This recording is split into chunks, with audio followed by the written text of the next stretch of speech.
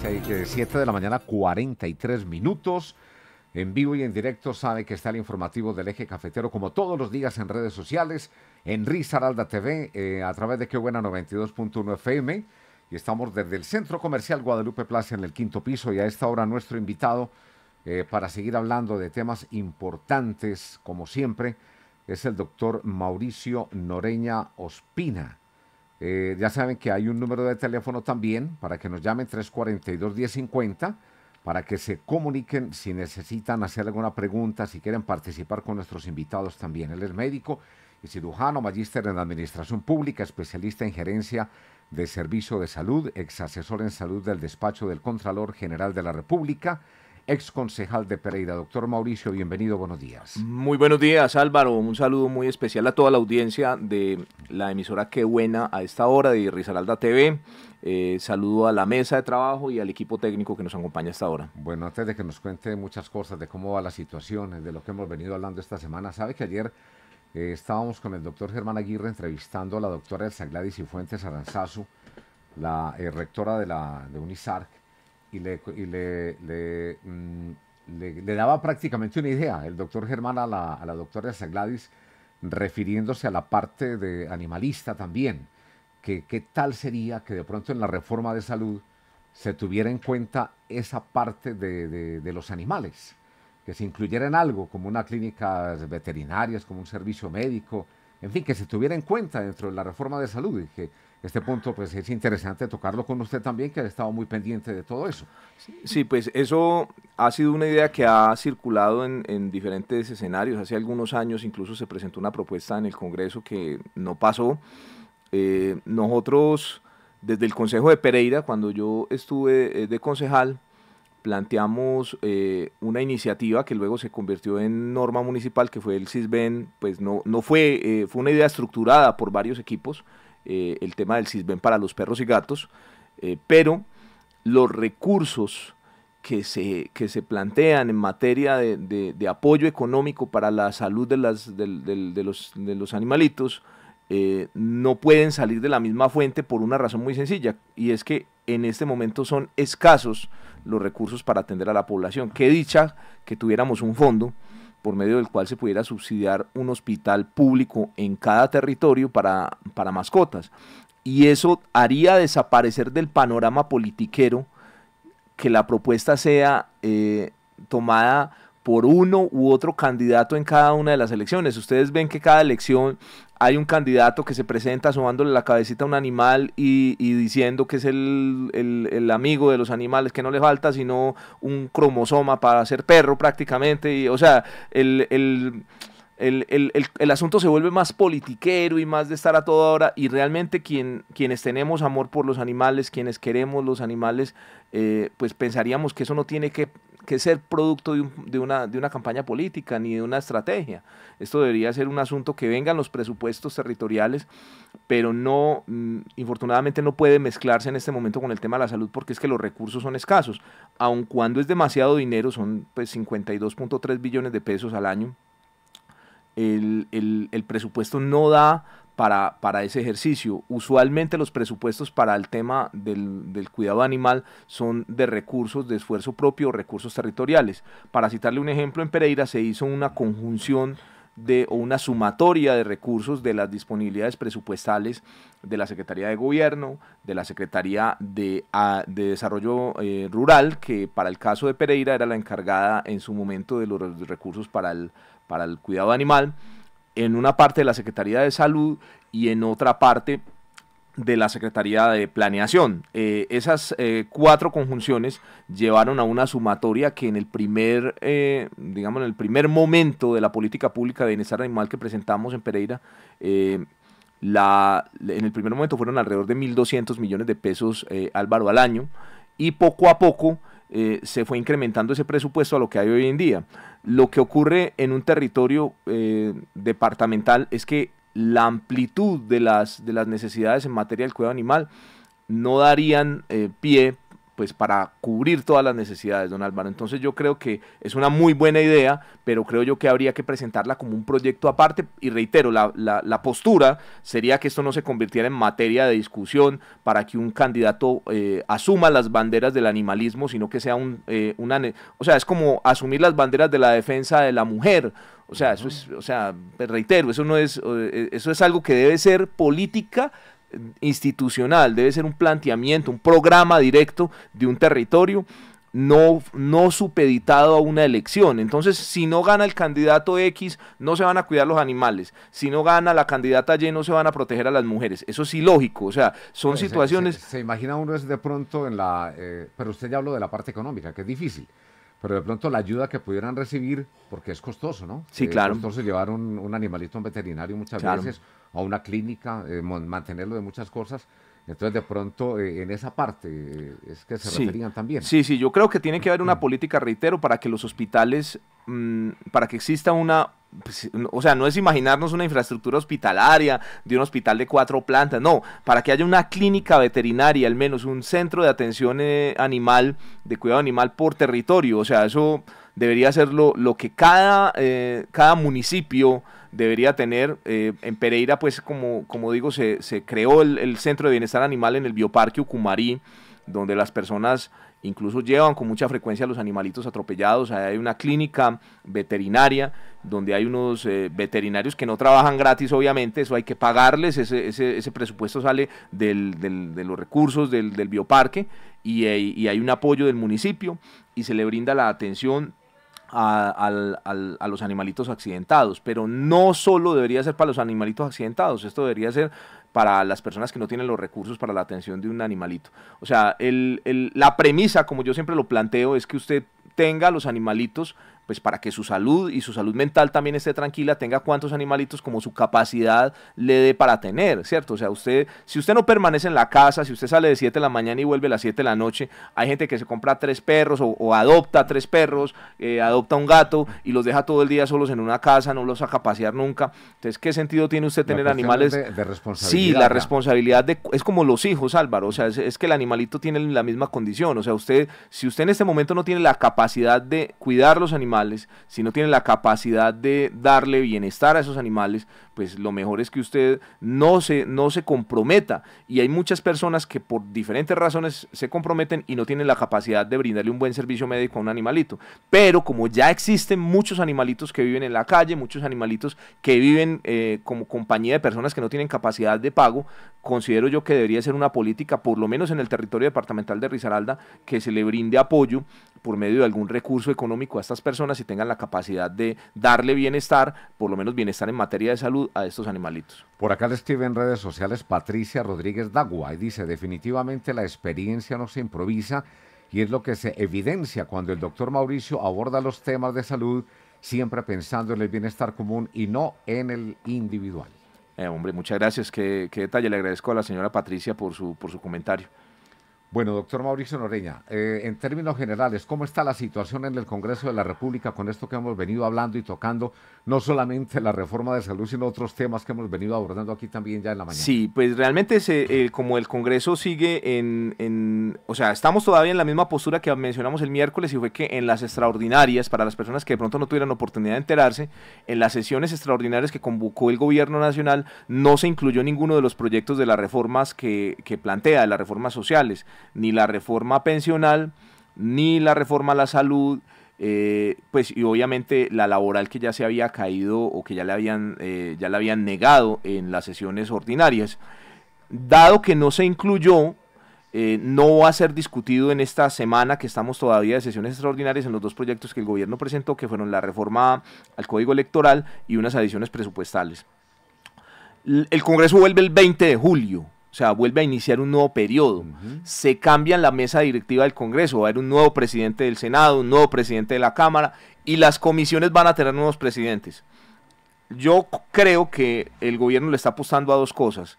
La primera, que existan personas que sean capaces de defender la reforma a nivel de la comisión y a nivel, porque recordemos que la reforma a la salud, por ejemplo, ya pasó su primer debate en comisión y falta el debate de la plenaria de la Cámara. Entonces se requiere que un representante a la Cámara que sea el presidente defienda desde esa presidencia esa reforma. Y creo yo que como estaba en manos del, de la Alianza Verde, estaba en manos, la Cámara estaba en manos de, de, personas que en ese momento no estaban ni siquiera de acuerdo con el presidente, él veía como riesgoso que si la presentaban las extraordinarias se le cayera. Entonces, la reforma sigue viva en el Congreso y va, va, a surtirse probablemente su segundo debate apenas arranque la próxima legislatura. Pero lo segundo lo que creo que le está apostando el gobierno es a conformar una nueva coalición porque en este momento su coalición está caída. Se le salió de la coalición la mayoría de los congresistas del Partido Liberal, la mayoría de los congresistas del partido de la U, la mayoría de los congresistas del Partido Conservador, que tenían posibilidades de votar en la Cámara ese, esa, esa reforma, la de la salud específicamente. Y en último minuto, los de la Alianza Verde le firmaron, al menos seis congresistas le firmaron una proposición para retirarla. Entonces eso generó un ambiente de que él probablemente hacía que se perdiera eh, la oportunidad de aprobarla. Pero como decretó emergencia social y económica, en medio de una emergencia, el presidente puede aprobar por decreto ciertas eh, modificaciones de las leyes. A muchos nos preocupa que en medio de esta emergencia el presidente genere modificaciones en la estructura del sistema de salud. Y de hecho ayer lo dijo en una intervención que realizó en La Guajira, donde dijo que la reforma de la salud comienza ya. Fueron sus palabras exactas y dijo que comienza en La Guajira. Entonces eso a uno lo deja como, como con el pensamiento de que él en medio de la actitud que ha mostrado recientemente de ser muy autoritario, de ser una persona que toma decisiones mm, y que el que se le oponga lo, saca simplemente, como él mismo lo dijo en las marchas que realizaron hace algunas semanas, eh, él mismo dijo que quien no estuviera de acuerdo con él se iba. O sea, ese autoritarismo pues le genera a uno muchas complejidades cuando uno coordina o dirige. Cuando uno es un líder, qué mejor que a uno le den recomendaciones los subalternos o las personas que trabajan o los colaboradores. Que se trabaja en equipo, ¿no? Claro, y es que a uno el hecho de que uno diga blanco no significa que sea blanco. Hay una persona que puede mirar las cosas desde otra luz y puede que lo que uno ve blanco lo vea gris o lo vea azul. ¿Cuántas veces no le ha pasado a uno que uno ve un carro que viene y uno dice, mira, ese carro es azul y se acerca y es gris? Entonces, los errores eh, se los puede hacer ver más fácil aquel que le dice a uno que no está de acuerdo que aquel que todo el tiempo le aplaude y le dice que muy bien lo que usted esté haciendo. Entonces, a uno le preocupa que en medio de esa situación de, de autoritarismo eh, le dé por aprobar estas reformas o de plantear unas modificaciones en el sistema por decreto. Y ayer mismo lo planteó diciendo que esa reforma iba a empezar ya en La Guajira. Entonces, eh, dijo ya que los recursos que giraban de las EPS a la Guajira van a empezar a fortalecerse en las rancherías con una atención por agentes comunitarios. Entonces yo eso... nadie, nadie es perfecto, definitivamente. alguien le puede decir a otro, mire, está fallando. claro, claro. El único perfecto es Dios. Sí, así es, así es. Entonces, entonces a, uno, a uno lo preocupa eso en este momento y yo creo que que hay que revisar y hay que estar muy atentos porque yo creo que nos tenemos que pronunciar los colombianos en caso de que eso ocurra, Álvaro. Bueno, por acá escriben en redes sociales, a ver, Claribel Gutiérrez, qué importante escuchar a un profesional que sabe lo que dice y tiene la capacidad de explicarlo claramente. Gracias, doctor Mauricio, por despertar nuestro deseo de votar por alguien que nos represente con inteligencia y honestidad. Sandra Restrepo, el doctor Mauricio es la persona idónea al cargo que aspira, conoce y puede ejecutar todas sus ideas Jorge Iván Corrales Cuartas, doctor Mauricio, buen día. Se debería de implementar una política de esterilización con el ánimo de evitar proliferación de animalitos en condición de abandono. Uy, qué buena pregunta. Esa pregunta, mire, la, la, la pregunta de esterilización para los animalitos la planteamos en una discusión cuando estábamos proponiendo que en la política de bienestar animal se incluyera, además de la política de esterilización permanente, que en este momento en muchos territorios se realizan, muchos municipios se realizan unas jornadas de esterilización gratuita o a muy bajo costo. Eh, son unas jornadas que se realizan, por ejemplo, para el caso del municipio de Pereira, pues yo realmente en este momento no sé si está funcionando como tal la buceta, pero teníamos un carro que se, le decía de manera eh, un poco... Eh, mm, eh, folclórica, se le decía el carro capador, porque se, era el que permanecía haciendo las, las esterilizaciones por los, por los diferentes sectores de la ciudad, pero se planteó además de esto una que yo creo que es mucho más útil, que era la identificación no solamente por medio de la cédula del, del animal, sino por medio de un dispositivo de identificación subsidiado en alguna medida por el municipio. ¿Por qué? Porque uno de los problemas que tenemos que hace proliferar animales eh, callejeros es el hecho de que la gente abandona a los animalitos cuando, no le, cuando ya no le sirven, don Álvaro. O sea, la gente, como yo lo planteaba en su momento en el consejo, llega una persona, hay una pareja de novios, están muy enamorados y el novio le regala una, una mascotica a la, a la, novia o viceversa. Y ese, ese animalito se convierte, mientras que esa relación dura, en un, en un hijo más, lo cuidan, lo llevan al veterinario, le hacen todo. Pero termina la relación y el animalito termina recordándole a alguno de los dos la persona que, que, tenía. Y eso se ve, usted mira, ah, esa historia está como muy de, telenovela, se ve todos los días. Y resulta que ese animalito que se va convirtiendo en un estorbo y en una energía negativa para esa persona, termina en las calles, termina abandonado, termina botado y pues en el mejor de los casos termina siendo dado en adopción, que es lo que uno recomienda. Pero cuando esos animalitos llegan a la calle, empiezan a reproducirse porque no fueron esterilizados en el momento correcto. Entonces, la, idea es que cada que hay una adopción, eh, para el, amigo em, Corrales, cada que hay una adopción, la adopción va de la mano del animal esterilizado. Sí, esa es, esa es una condición que debe existir.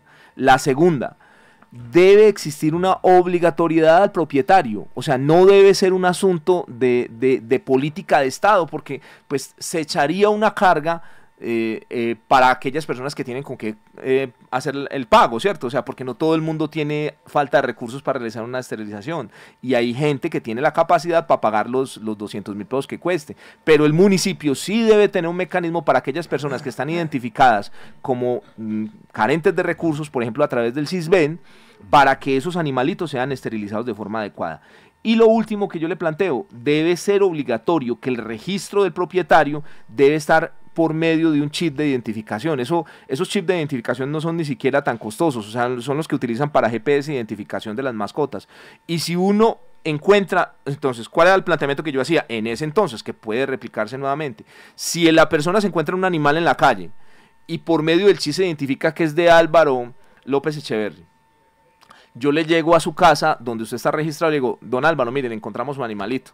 ¿Cierto? Ah, es que yo lo había votado. Ah, con que lo había votado, ¿cierto? O sea, el, escenario, pues ideal, yo le repito, estamos hablando de una, en una en una ciudad ideal, en una ciudad inteligente, que trabaje eh, articuladamente entre el Estado y el privado pues eso debería ser así. Pues yo no me imagino llegando uno a ciertos sectores de la ciudad con el animalito y que lo saquen a uno pues en... Eh, eh, sí, pero, ah. pero, pero, pero el, el, ese sería el ideal y debería ser la carga de responsabilidad que tenemos. la carga de responsabilidad. responsabilidad. Y eso yo creo eh, para, para, para nuestro amigo eh, Corrales que debe ser un asunto que parte desde la formación de nuestros hijos, debe ser un asunto que nosotros debemos educar en responsabilidad y esto debería ser motivo de formación en las escuelas y colegios, de cómo nosotros no solamente tenemos... responsabilidad, mucha parte de cultura también. Así es, y esto hace parte de la salud, o sea, esto hace parte de lo que estamos hablando. O sea, la salud no solamente va enfocada en el bienestar suyo, sino el bienestar de los seres que nos acompañan, como son los animalitos, don Álvaro. Bueno, doctor Mauricio Norreña, pues muchas gracias por acompañarnos en esta mañana. El viernes lo tendremos aquí, Dios mediante, nuevamente con nosotros. Si Dios quiere. Muchas gracias a ustedes y la, invitación es a que estemos pendientes. Yo reitero eh, que en mis redes sociales estoy eh, siempre entregando la información. Eh, quien quiera conocer los textos que están hasta el momento, la actualización, me puede escribir. Mi Facebook es médico Mauricio Noreña y mi Instagram es Mauricio Norena O. Ahí en el Instagram los invito a que vean un video que publicamos sobre unos tips de salud mental. Eh, hemos estado publicando unos videos eh, sobre el tema del bienestar. Eh, la semana pasada, la semana antepasada publicamos uno sobre cómo controlar la ansiedad por medio de una buena alimentación. Y ahora publicamos, acabamos de publicar el día de ayer publicamos un video sobre el manejo, de la, el manejo de la salud mental, sobre unos tips para tener una buena salud mental. Y la idea es seguir en ese ritmo, pues ahora que estamos aquí en los medios con mucha frecuencia, eh, como tratar de, de, brindarle esa información que yo identifiqué que había una necesidad de información en materia de salud para la comunidad, es lo que estamos tratando de hacer, don Álvaro. Y le agradezco a ustedes también acá que, que nos dan la oportunidad cada, cada semana de estar informando a la comunidad sobre estos temas tan importantes. Estamos de la mano con la comunidad, el eslogan del informativo partido del eje cafetero. Feliz día, doctor Mauricio. Muchas gracias. 8 de la mañana, 3 minutos. Tenemos información de la